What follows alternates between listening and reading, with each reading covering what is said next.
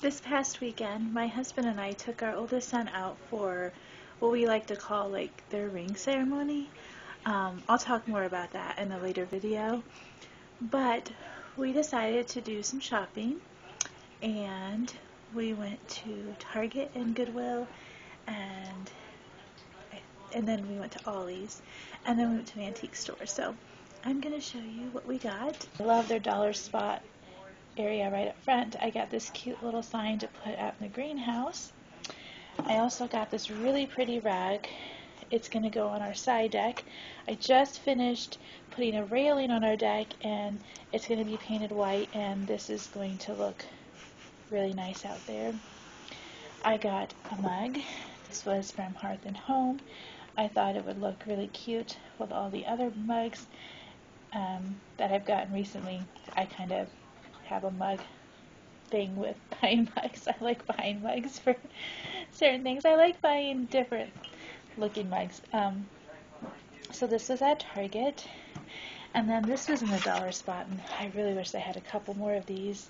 Um, so this little mirror, I'm going to go ahead and probably stick that out in the shop, um, or I might even hang it in our bathroom. I thought it would be awfully cute.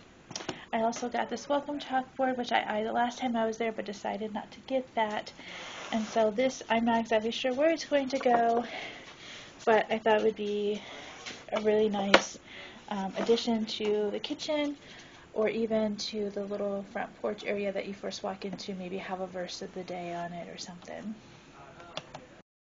When my son and I went to an antique store this weekend, I picked up a few things this really cute basket for $3.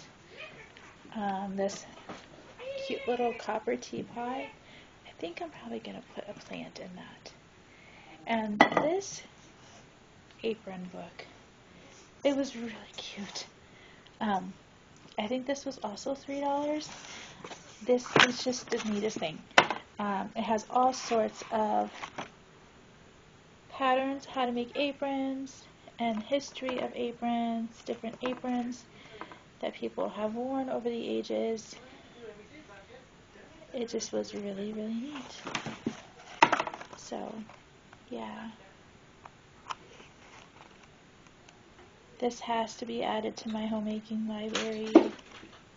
It's quite. So now is our Goodwill haul from when my son and I had his weekend with mom and dad. Um, here are some books that we got. He likes reading Artemis Fowl.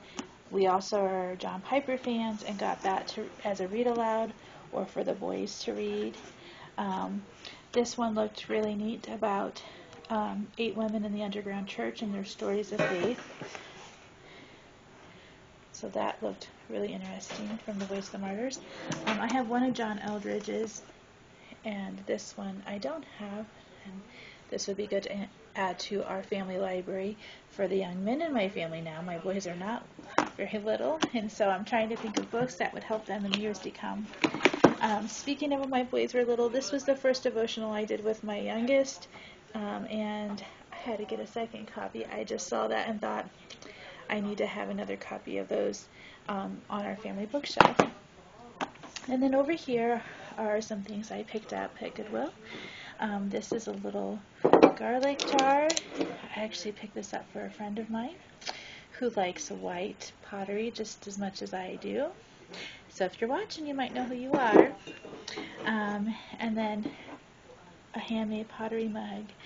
Pottery mugs are the one weakness I seem to have lately at Goodwill stores. Um, well, some of them are just really, really cute, like this one. And then I got this handmade pottery candle holder. It almost looked like it had the same initials as the one who did the mug. So whoever made this, I love it. You did a great job. Now I have two of your pieces. I would love one day to make my own little candle holder and a mug. It's just one of those things on my bucket list that I just absolutely would love to do. I also got my daughter a mug. It has crowns on it.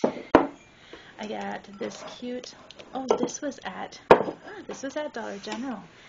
I get ahead of myself and I get things mixed up already.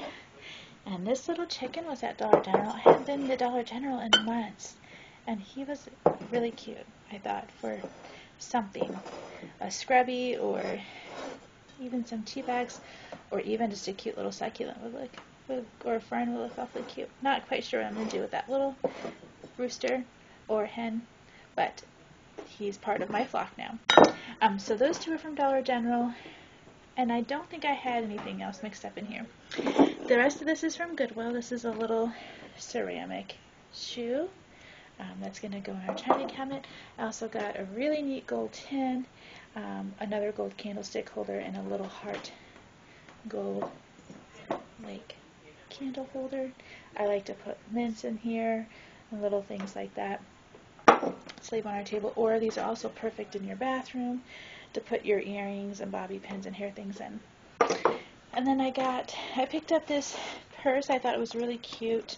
It's kind of like a saddle back style, um, a leather purse and a new little coin purse. Not sure if I will keep those or if they will be redesigned um, for our shop. And then I got a salt lamp. I've always wanted a salt lamp. So I was really excited to find one there for $5. I thought I plugged it in. They said it, it looked like it worked just fine. I thought that would be perfect to add to our living room next to one of our cozy corners.